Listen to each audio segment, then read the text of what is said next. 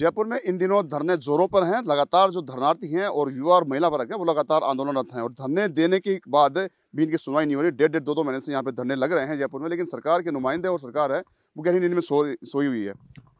शहीद स्मारक पर करीब आधा दर्जन से ज़्यादा धरने अभी चल रहे हैं, लेकिन अभी थोड़ी देर पहले यहाँ पे कुछ अभ्यर्थी शहीद स्मारक से पहुँचे थे, जिसमें बात करें एडिशनल की और बात करें लेवल वन की और सी एच पहुँचे थे, जिन्होंने यहाँ पे गोविंद देवसी से अरदास लगाई है शरण ली है उनकी कि अब सदबुद्धि देते हुए उनकी जो आखिरी मांग है, वो मांग है, वो उनकी पूरी की जाए। हाल फ़िलहाल मेरे साथ राजस्थान युवा मित्र संघर्ष समिति के जो तत्वाधान धरना दिया जा रहा है, वो धरनार्थी यहाँ पहुँचे हैं। राजीव गांधी युवा मित्र की जो मांग है बहाली की मांग, वो यहाँ पे की जा रही है। यहाँ पे ये गोविंद देव मंदिर पहुँचे हैं। गोविंद देव मंदिर में इन्होंने अरदास की है और एक मन्नत मांगी है कि कैसे भी सरकार को सदबुद्धि दे और इनकी जो मांग है बहाली की, वो पूरी हो। देखिए आज आप पहुँचे हैं, पिछले चौंतीस पैंतीस दिनों से लगातार धरना जारी है शहरी स्मारक पर। क्या लगता है यहाँ पे पहुँचने का? क्या मतलब आपको? जी, नमस्कार और पिछले डेढ़ महीने से हम लगातार शहीद स्मारक पर राजीव गांधी युवा मित्र पाँच हज़ार रोज़गार पुनः बहाली की मांग को लेकर निरंतर डटे हुए हैं, लेकिन सरकार दस की मस नहीं हुई थी, लेकिन हम आज श्री नित्यानंद महाप्रभु, श्री गौरांग महाप्रभु, श्री देवों के देव महादेव और जन जन के आराध्य श्री गोविंद देव जी के मंदिर पर हम माथा टेकने के लिए आए हैं और ये आशीष लेने के लिए आए हैं कि, हे प्रभु, हम भी उन्हीं पाँच हज़ार गरीब परिवारों में से हैं, जिन गरीब परिवारों में से वर्तमान सरकार के मुख्यमंत्री जी निकल कर आए हैं, उस किसान के बेटे जो माननीय मुख्यमंत्री जी भजन लाल जी हैं, उनको जब आपने प्रभु श्री गोविंद देव जी ने उनको गरीब के बेटे को मुख्यमंत्री तक पहुँचा दिया तो हम भी उन्हीं गरीब परिवारों के लोग हैं जो जन जन की योजनाओं को उन तक पहुँचाते थे, केंद्र सरकार की भजन लाल सरकार सरकार की जो योजनाएँ थी उनको जन जन तक पहुँचाने का काम करते थे। तो हम यही आस लगा कर बैठे हैं कि आज जब हम जन जन के आराध्य श्री गोविंद देव मंदिर आए हैं तो उसके बाद सरकार हमारी मांगों पर ध्यान देगी और हमारे आने वाले दिन शुभ होंगे। धन्यवाद सर। देखिए बदलाल सरकार है लगातार पैंतीस दिन से आपको अनदेखी कर रही है। आपने धरने प्रदर्शन किया तमाम प्रयत्न जो आपने करने थे वो कर चुके हैं हथकरने जो भी अपना थे अपना चुके लेकिन सरकार टस से मस नहीं हो रही। अब गोविंद देव जी मंदिर का आपने रुख किया है शरण ली है। क्या लगता है कि अब आपकी भावनाएँ जो है वो कहीं ना कहीं गोविंद देव समझेंगे और आप आगे तक पहुंचाएँगे।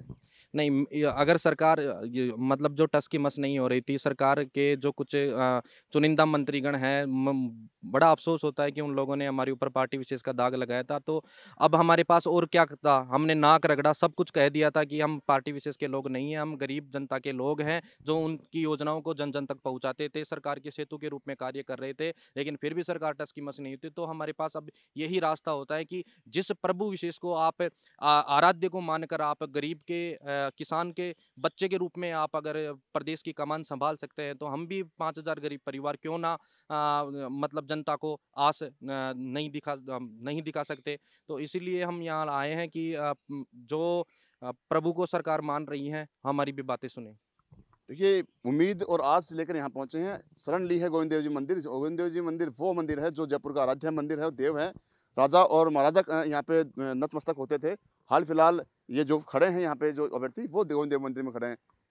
देखिए भजनलाल शर्मा जो सीएम है, वो गोविंद देव जी के बहुत परम भक्त हैं। क्या लगता है कि अब आप भी यहाँ पे शरण लिए आपने भी? ये हमारी आखिरी शरण है। हम प्रभु की शरण में आ गए जो अभी होगा फैसला यहाँ गोविंद देव जी के मंदिर से होगा और हमें पूरा विश्वास है कि जो गरीब और किसान के बेटे को ये गोविंद देव जी भगवान मुख्यमंत्री बना सकते हैं तो हमें क्यों बहाल क्यों नहीं करवा सकते तो हमें पूरी आस है कि हमें बहाल किया जाएगा। पूरा पूरा विश्वास है इन पर और हम यहाँ आए तो हमारी आखिरी ख्वाहिश है कि भगवान, आपके दर से ही हमें कम से कम भाले का संदेश मिल जाए और हम हमारा परिवार, घर वापस से लौट जाए। हमारे भी पीछे बच्चे हैं, परिवार है, उनको पाल सके। डेढ़ महीने से यहाँ बैठे हैं, हमारे सुनने वाला कोई नहीं था। जगह जगह हमने नाक रगड़े, माथे रगड़े, लेकिन हमें कोई सकारात्मक जवाब नहीं मिला। और आखिरी में हमने रास्ता चुना कि भगवान के दर पे तो अंधेर है, लेकिन देर नहीं है तो हम यहाँ आए हैं और हमें विश्वास है कि हमें को बहाली का संदेश मिलेगा। और गोविंद देव जी, भजन लाल जी को सदबुद्धि देंगे और हमारी सुनेंगे। धन्यवाद। देखिए, लगातार जो मांग है वो यहाँ पे अब पूरी होती नज़र आ रही है। इनको साफ़ उम्मीद और आस है, भगवान से लगा रखी है इन्होंने, क्योंकि गोविंद देव जी मंदिर जो है, वो सबका आराध्य देव है।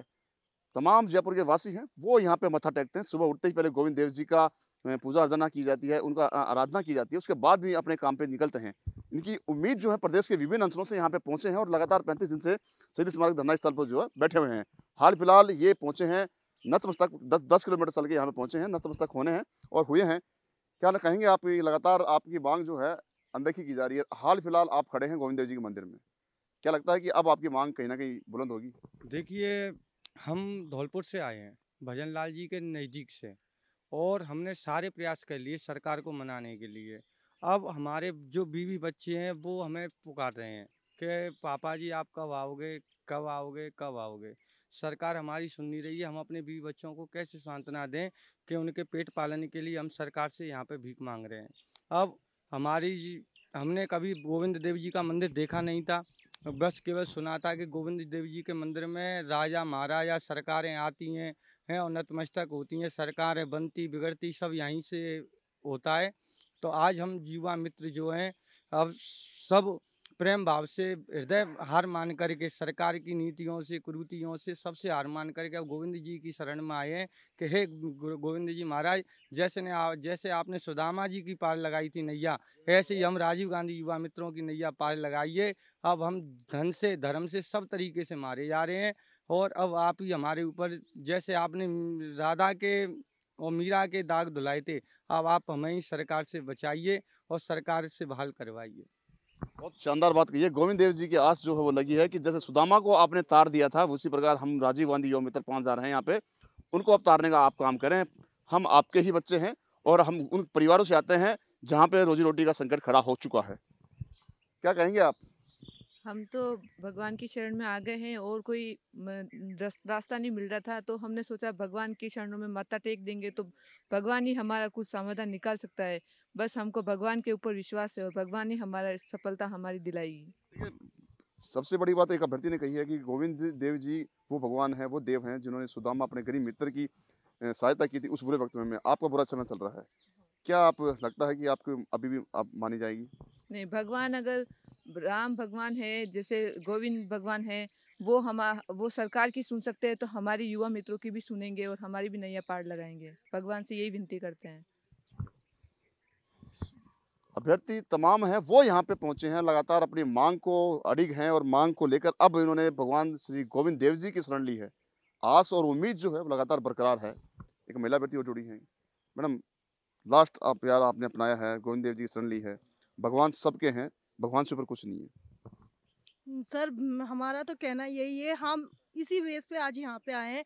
हमारे जितने भी अभी तक के मतलब राज पाठ गए हैं, पहले राजाओं के भी गए हैं, अब हमारे आज राजनीतिक चल रहे हैं। हमारे जैसे दिया कुमारी जी है, उनकी कुलदेवी भी मानी जाती है ये। हमारे जितने भी रहे हैं, मंत्री, विधायक, चाहे कांग्रेस हो, चाहे बीजेपी हो, सभी ने आके हमारे यहाँ पे माथा टेका है। ये हमारे कुल देवता के रूप में ही माने जाते हैं। गोविंद देव जी हैं। ये इन्होंने जिस तरीके से द्रौपदी की लाज बताई थी, उसी तरीके से हम चाहते हैं कि हम आर वाई एम पी की आज वो लाज बचाए, हम लोगों को हमारा रोज़गार वापस दिलाए। हम लोग आज गाँव हमारे क्षेत्र में नहीं जा सकते, हम लोगों की इतनी गंदी स्थिति हो गई है, हम कर्जे में डूबे हुए हैं, हमारी आज दो महीने से तनख्वाह नहीं है, हमारे पास खर्चा पानी नहीं है, हमारे पास पैसा नहीं है, हम लोगों ने कर्जा ले लेके हम आज यहाँ पे बैठे हुए हैं आज हमारे पास खाने के लिए कुछ नहीं है, हम बहुत परेशानी की स्थिति में है, इस समय हमने हमारा सारा गोविंद देव जी को ही समझा। इसी स्तर पे हम आज यहाँ पे आके बैठे हैं और हम दिया कुमारी जी से यही कहेंगे और हमारे मुख्यमंत्री जी से यही कहेंगे कि आप जिनकी शरण में जाके बैठते हैं, उनकी शरण में ही आज हम आके बैठे हैं। तो आप आज उनकी ही मान के ऊपर हमारा बहाल का नोटिस निकालिए, हमें हमारी बहाली दिलवाइए, हमारे बच्चों के लिए दिलवाइए, हमको हमारा करवाइए हमारा, इतना ही कहना चाहूँगी मैं। देखिए, महिला अभ्यर्थी ने अभी भी उम्मीद जो और आस है, वो कहीं ना कहीं लगाई है। साफ़ कहा कि जिस प्रकार द्रौपदी की आपने लाज बताई थी, उसी प्रकार आज हम सड़कों पे हैं हमारी भी लाज जो है, वो आपके हाथों में है। लाज रखना इनका एक मोटिव है कि जैसे भी हम पहुँचे हैं, आराध्य देव हैं और उन्होंने आराधना की है। अब इनका मानस ये है कि कहीं ना कहीं भगवान गोविंद देव इनकी लाज रखेंगे और इनकी मांग को, इनकी जो आस है, उसको पूरा करने का काम करेंगे। क्या कहेंगे आप? जैसे आपने अभी बताया कि हमारे जो प्रदेश के जो मुखिया जी है, सीएम साहब उनके आराध्य हैं। तो गोविंद देव जी हम सब के भी आराध्य हैं और हम सब युवा मित्रों ने अभी आके अरदास लगाई है, दंडवत किया है कि जो पिछले डेढ़ दो महीने हो गए, जयपुर की राजधानी में सरकार की चौकट पे हम नाक रगड़ते हुए हो गए। जो महिला मित्र है, युवा साथी है, सभी है, लेकिन सरकार कहीं ना मत- सुन नहीं रही। तो अब हम लास्ट में गोविंद देव जी के चरणों में दंडवत किया है और अरदास लगाई है कि गोविंद देव जी हमारी बात सुने। और जो सरकार के कानों तक ये बात पहुँचाए उनके जो दिमाग में कुछ एक नई बुद्धि सद्बुद्धि दे सीएम साहब को ये हमने अरदास लगाई गोविंद देव जी की और हमारे को एक हमारे प्रभु के ऊपर आराध्य के ऊपर हमें विश्वास है कि ज़रूर वो हमारे मुखिया जी को सद्बुद्धि देंगे और हमारे को बहाल करने के उनको सुझाव उनके दिमाग में ज़रूर आएगा। ये हमने अरदास देखिए हमारे मुखिया भजनलाल शर्मा जी हमारे पड़ोसी ज़िले से हैं, भरतपुर से तो वो भी एक किसान परिवार से ही निकले हुए हैं तो हम उनसे यही उम्मीद लगा के बैठे हैं कि हमारी सुने और हमारे पाँच हज़ार परिवारों को बहाल, बहाली दें।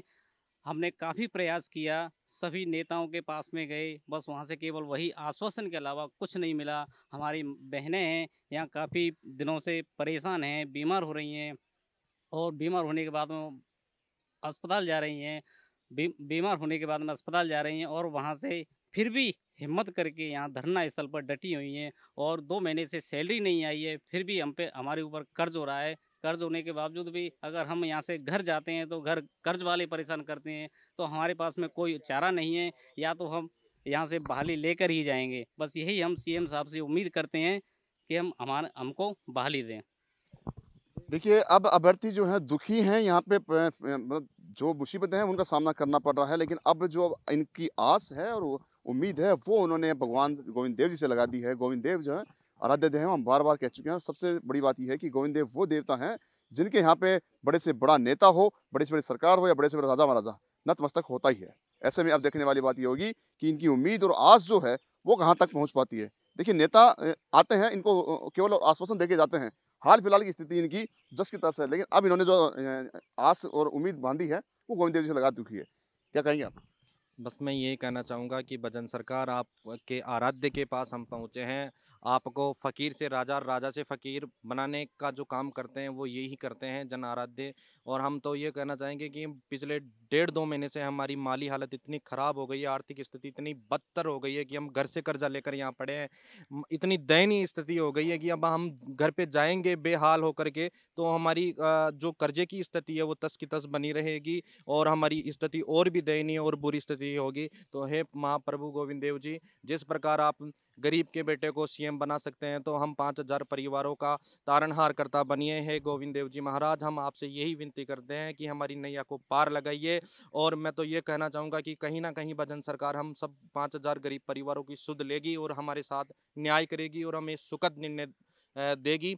और हम कल के लिए भी बता दें कि हम भारी तादाद में मोती डूंगरी गणेश जी महाराज के दर्शन भी करेंगे और वहाँ भी हम उनसे भगवान से अरदास करेंगे कि हे प्रभु, उन्हें भी सरकार को सद्बुद्धि दे और जो हमारे प्रति गलत फहमियाँ हैं उनको दूर करके और सरकार को एक पॉजिटिव संदेश सरकार की ओर से हम पाँच हज़ार परिवारों को दिलवाइए।